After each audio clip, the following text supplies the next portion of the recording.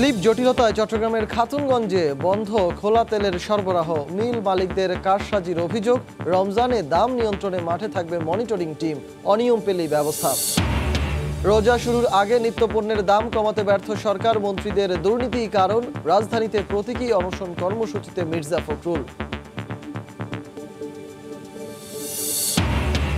সব বিভাগে বিশেষ চাহিদা সম্পন্ন শিশুদের জন্য আবাসন ও কর্মসংস্থানের ব্যবস্থা করা হবে। অটিজম সচেতনতা দিবসে প্রধানমন্ত্রী। সমাজের বিত্তশালীদের এগিয়ে আসার আহ্বান।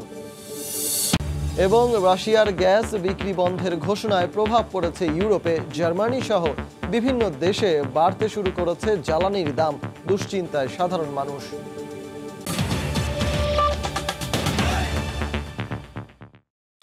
সময় সংবাদের সঙ্গে আছি আমি সজল মিত্র, রিচার্ড।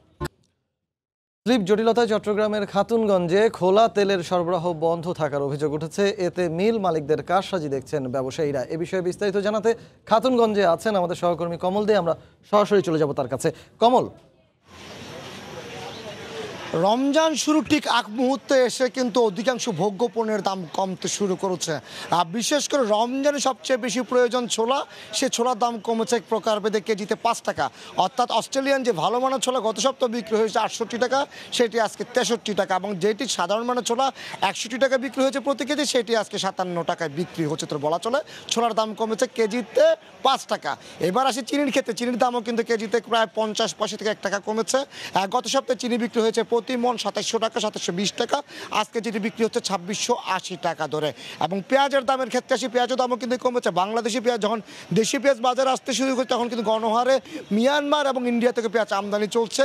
যে কারণে পেঁয়াজের দাম কমছে ছয় থেকে ষাট টাকা, অর্থাৎ আজকে বাইশ থেকে পঁচিশ টাকার মধ্যে উঠানামা করছে পেঁয়াজের কেজি। রসুনের দামও কমেছে, কয়েক দুই কেজি, দুই থেকে তিন টাকা। তবে আদার দাম এক টাকা কমেছে সরবরাহের ক্ষেত্রে বলে। এক্ষেত্রে সবচেয়ে বড় কারসাজি যেটি হচ্ছে, আবারও সেই কারসাজি যেটি হলো ভোজ্য তেলের ক্ষেত্রে। সরকার নানা বিধি নিষেধ নানা অর্থাৎ ভ্যাট প্রত্যাহার করেও কিন্তু এই কারসাজিটা নিয়ন্ত্রণ করতে পারছে না। যেমন হ্যাঁ বলছে ভোজ্য তেলের কিন্তু যে বোতলজাত তেল বিক্রি হচ্ছে আজকে একশো ছত্রিশ টাকা লিটার, ঠিক আছে? খোলা তেল যেটা সবচেয়ে বেশি বিক্রি হয়ে থাকে সে খোলা তেলের ক্ষেত্রেই এই কারসাজি চলছে। এক্ষেত্রে সাধারণ পাইকাররা বলছেন, তারা যখন মিলে যাচ্ছেন তেল কিনতে, তখন তাদেরকে মিলাররা বলছেন, তারা স্লিপ ছাড়াই তেল বিক্রি করবেন। কিন্তু যারা সাধারণ বিক্রেতারা আছে, তারা কিন্তু স্লিপ ছাড়া তেল কিনবেন না, কারণ তাদেরকে ভ্রাম্যমান আদালত সমস্যা করবে। এরই প্রেক্ষিতে গিয়ে কিন্তু এখন খোলা তেলের কিছুটা ক্রাইসিস রয়েছে বাজারে বিশেষ করে যারা মিল মালিক, তারা আগের অ্যাসোগুলো তারা এখন সরবরাহ বিশেষ করে যেগুলো আগে সাপ্লাই অর্ডার ছিল, সেই সাপ্লাই অর্ডারগুলো তেলগুলো তারা দিচ্ছেন। নতুন কোনো কোনো ডেলিভারি অর্ডার তারা ইস্যু করছেন না। আর এর ফলে কিন্তু আমি যদি বলি, অর্থাৎ খোলা তেলের ক্ষেত্রে কিন্তু বন প্রতি দাম বেড়েছে প্রায় তিনশো থেকে চারশো টাকা সোয়াবিনের দাম অলিতের মধ্যে বেড়ে গেছে। অর্থাৎ বোতলজাত তেল সরকারি নিয়মে বিক্রি হচ্ছে, কিন্তু যে খোলা তেল বিক্রি হয়, সে খোলা তেলের কিন্তু কারসাজিটি বন্ধ হয়নি। এক্ষেত্রে স্লিপ পাওয়া এবং স্লিপ না পাওয়া নিয়েই এই জুটোটা সৃষ্টি হচ্ছে। এর ফলে কিন্তু ভোজ্য তেল বাজার আবারও কিছুটা ঊর্ধ্বমুখী বলে জানিয়েছেন সাধারণ ব্যবসারা বলছেন, বাজারে এখন খোলা তেল তেমন নেই, যেহেতু মিলাররা তেল দিচ্ছেন না। তো বলা চলে, রমজান, আগামীকাল থেকে রমজান শুরু হচ্ছে। ঠিক আগ মুহূর্তে এসে কিন্তু বলা চলে, আজকে থেকে ভোজ্য অর্থাৎ ভোগ্যপণ্য অর্থাৎ ছোলা চিনি এবং চলে বলা পেঁয়াজ, রসুনের দাম কমেছে এবং শুধুমাত্র যে কারসাজির কারণে সোয়াবিন তেলের খোলা সোয়াবিন তেলের দাম কিছুটা বাড়তি। তো এখন পর্যন্ত আমার কাছে ছিল খাতুনগঞ্জ থেকে সর্বশেষ। চট্টগ্রামের খাতুনগঞ্জ থেকে আমাদের সঙ্গে যুক্ত হয়েছিলেন সহকর্মী কমল দে। রমজানের ভোগ্যপণ্যের দাম নিয়ন্ত্রণে চট্টগ্রামে মাঠে থাকবে জেলা প্রশাসনের পাঁচটি মনিটরিং টিম। দাম নিয়ে কারসাজি হলে কঠোর ব্যবস্থার হুঁশিয়ারি দেওয়া হয়েছে। তবে তদারকি কার্যক্রম সারা বছরই চালু রাখার দাবি ভোক্তা অধিকার সংগঠনের। বিস্তারিত ফেরদৌস লিপির রিপোর্টে। মিলে মিলে অভিযান, পাইকারি ও খুচরা বাজারে মনিটরিং, আমদানি পর্যায়ে ভ্যাট কমানো, এমনকি টিসিবি এবং ওএমএস এর মতো খাদ্য বান্ধব কর্মসূচি সহ নানা উদ্যোগ নিয়ে অস্থির ভোগ্যপণ্যের বাজার নিয়ন্ত্রণে নানা তৎপরতায় গত এক মাসের বেশি সময় ধরে মাঠে কাজ করছে সরকারি বিভিন্ন সংস্থা। এমন চিত্রের মধ্যে নিয়ন্ত্রণহীন বাজারকে রমজানে স্থিতিশীল রাখতে পুরো মাস জুড়ে মাঠ পর্যায়ে কঠোর মনিটরিং চালাবে জেলা প্রশাসন। ভোগ্যপণ্যের সরবরাহ ও দাম স্বাভাবিক রাখতে নজরদারিতে থাকবে সংস্থাটি। কোনো ধরনের অনিয়ম পেলে তাৎক্ষণিক ব্যবস্থা নেওয়া হবে। মাস জুড়ে চলবে এই তৎপরতা। ব্যবসায়ীদের সাথে মিটিং করেছি কথা বলেছি সবাই আমাদেরকে কথা দিয়েছে যে রমজান উপলক্ষে অন্ততপক্ষে বাজার মূল্যের কোনো ঊর্ধ্বগতি হবে না এবং আমরাও জেলা প্রশাসন থেকে প্রতিদিন সকাল বিকাল সন্ধ্যার পরেও পাঁচটি টিমের মাধ্যমে এটি মনিটরিং করব। ভোগ্যপণ্য নিয়ন্ত্রণে সরকার নানা পদক্ষেপ নিলেও শঙ্কা কাটছে না ভোক্তাদের। তারা বলছেন একটি চক্র প্রতি বছর রমজানকে টার্গেট করে কৃত্রিম সংকট তৈরি করে পণ্যের পকেট কাটে ভোক্তাদের। যারা মধ্যবিত্তে আছে এদের তো খুব করুণ অবস্থা। আমার কাছে মনে হচ্ছে যে তদারকিটা প্রপার হচ্ছে না। এরা আসিতে এদিকে যায় এদিকে ঘুরে এদিকে বাইরে যায়। কারসাজিকারীদের দৃষ্টান্তমূলক শাস্তির পাশাপাশি সারা বছর তদারকির দাবি ভোক্তা অধিকার নিয়ে কাজ করা ক্যাবের। আমাদের ইয়ে হলো যে যদি কোনো অসাধু ব্যবসায়ী এই কাজসাজের সাথে যুক্ত তাদের বিরুদ্ধে আসলে দৃষ্টান্তমূলক পানিশমেন্টটা হওয়া উচিত। দুষ্টের দমন সৃষ্টির পালন সরকারকে এই কাজটি করতে হবে। বাজারের পাশাপাশি উৎপাদন ও আমদানি পর্যায়ে মনিটরিং না করা গেলে পরিস্থিতি নিয়ন্ত্রণে আনা সম্ভব নয় বলে মনে করছেন সংশ্লিষ্টরা। ফেরদুস লিপি সময় সংবাদ, চট্টগ্রাম। রোজা সামনে রেখে বাজার মনিটরিংয়ে রাজধানীর বাজারগুলোতে অভিযান চালাচ্ছে ভোক্তা অধিকার সংরক্ষণ অধিদপ্তর। এই মুহূর্তে কারওয়ান বাজারে আছেন আমাদের সহকর্মী কামরুল হাসান। সরাসরি চলে যাব তার কাছে। কামরুল জাতীয় ভোক্তা অধিকার সংরক্ষণ অধিদপ্তর যে বাজার তদারকি কার্যক্রম চালাচ্ছে, সকাল থেকে এই রাজধানীর কারণ বাজারে, সেখানে এসে কিন্তু বেশ কিছু অনিয়ম এবং যে ম্যাজিক কাণ্ডর মতো বলা যায় আর কি, সেরকম কাণ্ডই ঘটেছে এখানে। যে ভোক্তা অধিকার সংরক্ষণ অধিদপ্তর আসার আগে যে তরমুজ একশো পিস বিক্রি হচ্ছিল ত্রিশ হাজার টাকায়, সেই তরমুজের দাম তারা আসার পরপরই নেমে গেছে বারো থেকে পনেরো হাজার টাকার মধ্যে।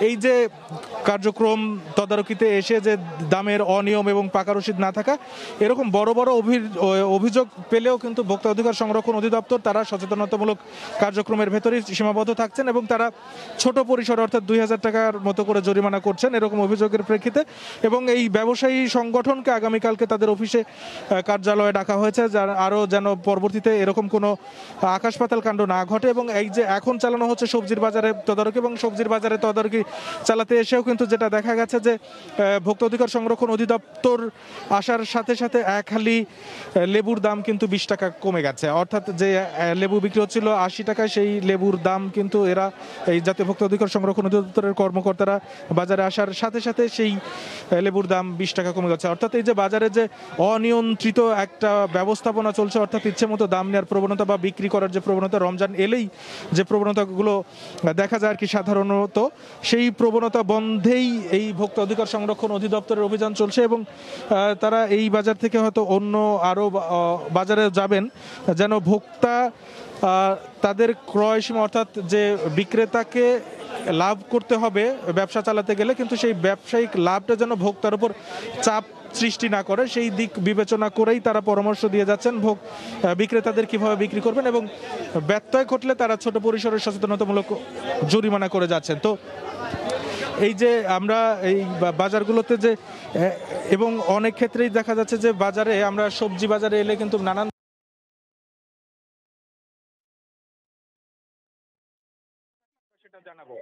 আমার কাছে এখন এই পর্যন্তই ছিল এখান থেকে সব শেষ সংরক্ষণ অধিদপ্তরের তদারকি কার্যক্রম। এরপরে অন্য কোনো বাজারে গেলে বা অন্য কোনো ঘটনা ঘটলে বা তথ্য থাকলে আমরা সেটা জানাব। তো আমার কাছে এখন এই পর্যন্তই ছিল এখান থেকে সব শেষ খবর। রাজধানীর কারওয়ান বাজারের কাঁচা বাজার থেকে আমাদের সঙ্গে যুক্ত হয়েছিলেন সহকর্মী কামরুল হাসান।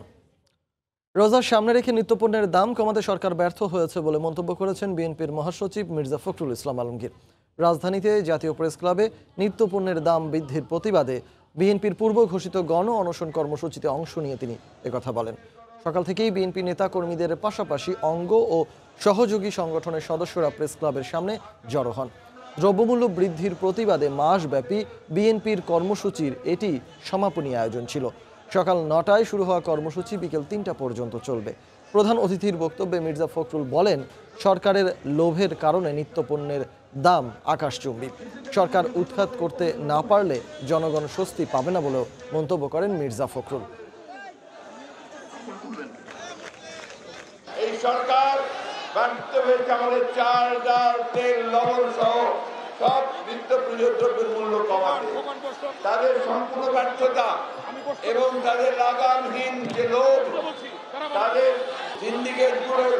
লোভের কারণে আজকে প্রত্যেকটি জিনিসের মূল্য আকাশ চুটি হয়ে গেছে আওয়ামী লীগের অনির্বাচিত সরকার, তাদেরকে যদি আমরা পরাজিত করতে না পারি, তাদেরকে যদি আমরা ক্ষমতা থেকে সরে না দিতে পারি, তাহলে এই দেশের মানুষের অস্তিত্ব থাকবে না। এই মুহূর্তে জাতীয় প্রেস ক্লাবের সামনে আছেন সহকর্মী আহমেদ সালেহিন। আমরা সরাসরি চলে যাব তার কাছে। সালেহিন। পঁচিশে ফেব্রুয়ারিতে ফেব্রুয়ারি থেকে দ্রব্যমূল্যের ঊর্ধ্বগতির প্রতিবাদে বিএনপি কর্মসূচি শুরু করেছিল বিভিন্ন জেলা, উপজেলা, মহানগর এবং রাজধানী ঢাকায় বিভিন্ন প্রতিবাদ সভা এবং লিফলেট বিতরণ সহ নানা কর্মসূচি তারা পালন করছে। তারই ধারাবাহিকতা আজকে জাতীয় প্রেস ক্লাবের সামনে গণ অনশন কর্মসূচি পালন করছে বিএনপি যেখানে এই এই গণ অনশন কর্মসূচি প্রতিটি গণ অনশন কর্মসূচি বিকাল তিনটা পর্যন্ত চলবে। সকাল দশটায় শুরু হলেও সকাল আটটা থেকে দেখেছি প্রেস ক্লাবের সামনে নেতাকর্মীরা জড়ো হতে থাকেন এবং এই মিছিল, এই আজকে গণ অনশন কর্মসূচি কিন্তু আজকে সমাপনীর দিন। এটি কিন্তু বিএনপির পক্ষ থেকে জানানো হয়েছে এবং একই সঙ্গে বলে রেখেছে যে বিএনপি মহাসচিব মির্জা ফখরুল ইসলাম আলমগীর এই অনুষ্ঠানের প্রধান অতিথি এবং একই সঙ্গে রয়েছেন বিএনপি স্থায়ী কমিটির বেশ কয়েকজন সদস্য সহ বিভিন্ন পর্যায়ের নেতাকর্মীরা। একই সঙ্গে রয়েছেন বিশ দলীয় জোট, জোটের কয়েকজন নেতৃবৃন্দকে আমরা এখানে দেখতে পাচ্ছি যে তারা এখানে রয়েছেন। আমরা বলেছি বিএনপি মহাসচিব মির্জা ফখরুল আলমগীর কিছুক্ষণ আগে তার সূচনা বক্তব্যে রেখেছেন এবং তিনি এখানে বলেছেন যে দ্রব্যমূল্য ঊর্ধ্বগতির বৃদ্ধির পেছনে আসলে সরকারের ব্যর্থতা রয়েছে। এই ধরনের বক্তব্য তিনি দিয়েছেন এবং বলেছেন যে সরকারের এই দ্রব্যমূল্য নিয়ন্ত্রণ করতে তারা ব্যর্থ হয়েছেন এবং নির্দলীয় সরকারের অধীনে নির্বাচনের মাধ্যমে জনগণের সরকার প্রতিষ্ঠিত হলেই মূলত দ্রব্যমূল্য আহ, কমবে বলে তিনি দাবি করেছেন। আমরা বলে রাখতে চাই যে সকাল থেকে আমরা নেতাকর্মী যখন দেখেছি যেখানে ভিড় করেছেন এবং জনসমাগম এখানে উপস্থিত হয়, তখন কিছুটা গাড়ি ঘোড়া চলাচল করলেও এখন কিন্তু সম্পূর্ণ পল্টন থেকে হাইকোর্ট পর্যন্ত গাড়ি চলাচল সম্পূর্ণ বন্ধ রয়েছে। নেতাকর্মীরা অবস্থান নিয়েছেন। তিনটা পর্যন্ত অনশন চলবে, প্রতীকী অনশন। এরপরে কিছুক্ষণের মধ্যে স্থায়ী কমিটির সদস্য তাদের বক্তব্য রাখবেন দ্রব্যমূল্য ঊর্ধ্বগতির প্রতিবাদে এবং সবশেষ বিএনপি মহাসচিব মির্জা ফখরুল আলমগীর আবারও সমাপনী বক্তব্য রাখবেন এবং আজকে এই সমাপনী বক্তব্যের মাধ্যমে এই গণানুষ্ঠান প্রতিটি গণানুষ্ঠান কর্মসূচি যেটি গত পঁচিশে ফেব্রুয়ারি শেষ হয়েছিল সেটি শুরু হয়েছিল সেটি আজকে এই গণ প্রতীকী অনশনের মাধ্যমে শেষ হচ্ছে জাতীয় প্রেস ক্লাবের এই আহ, গণঅনশনের মাধ্যমে। তো এই ছিল আমার কাছে বিএনপির প্রতীকী গণ অনশন কর্মসূচির খবর। রাজধানী প্রেস ক্লাব থেকে আমাদের সঙ্গে যুক্ত হয়েছিলেন সহকর্মী আহমেদ সালেহিন। অটিজম বা বিশেষ চাহিদা সম্পন্ন শিশুদের পরিচর্যায় থাকা বাবা, মা ও শিক্ষকদেরও প্রশিক্ষণ জরুরি উল্লেখ করে প্রধানমন্ত্রী শেখ হাসিনা বলেছেন, প্রত্যেক বিভাগীয় শহরে প্রতিবন্ধীদের স্থায়ী আবাসন ও কর্মসংস্থানের ব্যবস্থা করবে সরকার। সকালে পনেরোতম বিশ্ব অটিজম সচেতনতা দিবসের অনুষ্ঠানে ভার্চুয়াল মাধ্যমে যোগ দিয়ে তিনি বলেন, সমাজের বিত্তবানদের এগিয়ে আসতে হবে।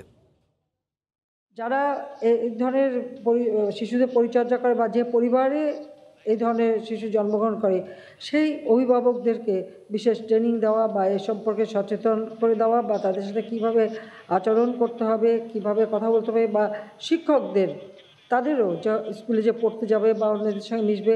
আর সেই সাথে সাথে আমি মনে করি এটাও আরও ব্যাপক প্রচার এভাবে হওয়া উচিত যে আমাদের সাধারণ মানুষের মাঝেও আরও সচেতন হওয়া উচিত। স্থায়ী আবাসন বা কর্মসংস্থান করা যায়, সে ধরনের প্রতিষ্ঠান আমরা গড়ে তুলব। এই ট্রাস্টের মাধ্যমে আমরা গড়ে তুলব। এবং আমি আমাদের সমাজ কল্যাণ কল্যাণ মন্ত্রীকে বলব যে এর উপর একটা প্রজেক্ট নিয়ে আসতে আমরা প্রত্যেকটা, এখন আমাদের আটটা বিভাগ আছে, প্রথমে আটটা বিভাগেই করে দেবো পর্যায়ক্রমিকভাবে প্রতি জেলায় আমরা করে এই ধরনের আবাসন ব্যবস্থা, প্রশিক্ষণের ব্যবস্থা এবং সেই সাথে কর্মসংস্থানের ব্যবস্থা যাতে আমাদের প্রতিবন্ধী এবং অটিস্টিক যারা তারা পায়, সে ব্যবস্থাটা ইনশাল্লাহ আমি করে দেবো। এক্ষেত্রে যারা বিত্তশালী আছে তাদেরকেও আমি বলব অনেক টাকা পয়সা অনেক তো হয়ে গেছে, অনেক বেশি। আমাদের অর্থনীতি যত বেশি শক্তিশালী হচ্ছে, দায়িত্ব বিমোচন হচ্ছে, গ্রামের মানুষ যেমন আর্থিক সচ্ছলতা পাচ্ছে, আবার যারা অর্থ বাড়াচ্ছেন তাদের তো আরও অনেক অর্থ হচ্ছে। কিছু এখানে ব্যয় করলে পরে সেটা দেশের কাজে লাগবে, যথাযথ কাজে লাগবে সেটাই আমি মনে করি। পাড়ায় অস্থির কাগজের বাজার। বেকায়দায় পড়েছেন তৈরি পোশাক সহ বিভিন্ন শিল্পে দরকারি কার্টন প্রস্তুতকারী প্রতিষ্ঠানগুলো। এরই মধ্যে অনেক কারখানা বন্ধ হয়ে গেছে দাবি উদ্যোক্তাদের। কাগজের মিলগুলো ইচ্ছে মতো বাজার নিয়ন্ত্রণ করছে বলেও অভিযোগ। তৈরি হয়েছে দেশে বিদেশে পণ্য সরবরাহ ব্যবস্থাপনায় বড় ধরনের সংকটের আশঙ্কা। কামরুল হাসান সবুজের রিপোর্ট। যেন ছোঁয়াচে রোগের মতো দাম বৃদ্ধির প্রতিযোগিতা ছড়িয়ে পড়েছে দেশের সব অর্থনৈতিক কর্মকাণ্ডে। আর এই চাপে গত ছয় মাস ধরে ধুঁকতে ধুঁকতে এবার মরতে বসেছে তৈরি পোশাক ওষুধ সহ বিভিন্ন শিল্পে দরকারি কার্টুন সরবরাহকারী প্রতিষ্ঠানগুলো। উদ্যোক্তাদের দাবি দিনে দুইবারও বাড়ছে প্রধান কাঁচামাল কাগজের দাম। এতে যেমন করে নতুন অর্ডার নিতে পারছেন না তেমনি আগের অর্ডার অনুযায়ী কার্টুন সরবরাহ করতে গিয়ে গুনতে হচ্ছে লোকসান। হোলসেলার যারা তারা বলে যে আসলে কোথা থেকে কি হচ্ছে আমরা জানি না। শুধু এইটুকুই জানি আজকের প্রাইস এটা। প্রতিদিন দুইবার একই পেপার মিল থেকে দুইটা মেসেজ আসে। কমের কোনো শব্দ নেই। Seventy five per square metre ওনার সাথে রেট মেটানো হলো। ম্যাকিং কস্ট ওনাদের যাচ্ছে এক ডলার দুই সেন্ট হাউ পসিবল হিসাব বলছে গেল তিন মাসে প্রতি কেজি মিডিয়া পেপারের দাম বেড়েছে চুয়াল্লিশ শতাংশ, বত্রিশ শতাংশ বেড়েছে অরিজিনাল লাইনার পেপারে আর লাইনারের কাজ চালিয়ে নেয়া রঙিন পেপারের দাম বেড়েছে তেতাল্লিশ শতাংশ। কার্টুন সহ অ্যাক্সেসরিজ প্রস্তুতকারী প্রতিষ্ঠানগুলোর দাবি যোগসাজশে ব্যবসা করে যাচ্ছে দেশের বিশ থেকে বাইশটি কাগজ কল। আমাদের দেশে যেটা হচ্ছে সেটা হচ্ছে একটা ব্ল্যাকমেইলিং এই পেপার মিলগুলো যেটা করতেছে। এর ফলে কি হয়েছে? থার্টি পার্সেন্ট কার্টুন ফ্যাক্টরিগুলো বন্ধ হয়ে যাচ্ছে। অলরেডি বন্ধ হয়ে গেছে থার্টি পার্সেন্ট অধিকাংশ মেম্বাররাই এখন লস দিয়ে ফ্যাক্টরি চালিয়ে রেখেছেন এই আশায় যে ভবিষ্যতে হয়তো আমাদের এবং সরকারের হস্তক্ষেপে এই প্রাইসটা একটা নিয়ন্ত্রণমূলক জায়গায় চলে আসবে। কোশ্চেন সেটাই যে আমাদের মেম্বাররা কতদিন এটা সাস্টেন করতে পারবে? পোশাক খাতের উদ্যোক্তারা বলছেন প্যাকেজিং খাতকে স্থিতিশীল করতে না পারলে প্রতিযোগিতা সক্ষমতা হারাবে দেশের প্রধান রপ্তানি খাত। নেতিবাচক প্রভাব পড়বে রপ্তানি আয়ে। এটার মূল্য বৃদ্ধি ওঠানামার যে আনপ্রেডিক্টেবল সিচুয়েশন এটাকে যদি ঠিক না করা যায় তাহলে আলটিমেটলি সাফার করবে কিন্তু পোশাক শিল্প। কাগজের দাম দ্রুত নিয়ন্ত্রণে না এলে কার্টুনের মাধ্যমে অভ্যন্তরীণ বাজারে সরবরাহ করা বিভিন্ন পণ্যের দামও বেড়ে যাওয়ার আশঙ্কা খাত সংশ্লিষ্টদের কামরুল হাসান সবুজ সময় সংবাদ ঢাকা। দেখছেন সময় সংবাদ। পশ্চিমা দেশগুলোর কাছে রুবালে জ্বালানির দাম পরিশোধে রুশ প্রেসিডেন্টের ডিক্রি জারির পর জার্মানিতে বেড়ে গেছে প্রায় নিত্যপণ্যের নিত্যপণ্যের দাম। এতে সংকটে পড়েছেন দেশটির সাধারণ মানুষ। বিস্তারিত জানাচ্ছেন বিটু বড়ুয়া। রাশিয়ার বিরুদ্ধে জার্মানি সহ ইউর কঠিন নিষেধাজ্ঞার বিপরীতে পাইপলাইন বন্ধ করা সহ শুধু রুবলে তেল ও গ্যাস সরবরাহের ঘোষণা দেন রুশ প্রেসিডেন্ট ভ্লাদিমির পুতিন। এ নিয়ে এক ডিক্রি জারি করেন তিনি। শুক্রবার থেকেই জার্মানিতে কার্যকর হয়েছে রুবলের বিনিময়ে গ্যাস বিক্রি। এরপর ইউরোপের অন্য দেশের মতো জার্মানিতেও জ্বালানি ভোজ্য তেল প্রাকৃতিক গ্যাস ও ময়দা জাতীয় খাবার সহ সব ধরনের পণ্যের দাম বেড়েছে। পরিসংখ্যান বলছে গত কয়েকদিনে চলমান যুদ্ধ ও তেল ও গ্যাসকে কেন্দ্র করে সব পণ্যের দাম বেড়েছে পাঁচ থেকে আট শতাংশ। এমন পরিস্থিতিতে বেশি বিপাকে পড়েছে সাধারণ মানুষ। আর তাই সামনের দিনগুলো নিয়ে শঙ্কিত তারা।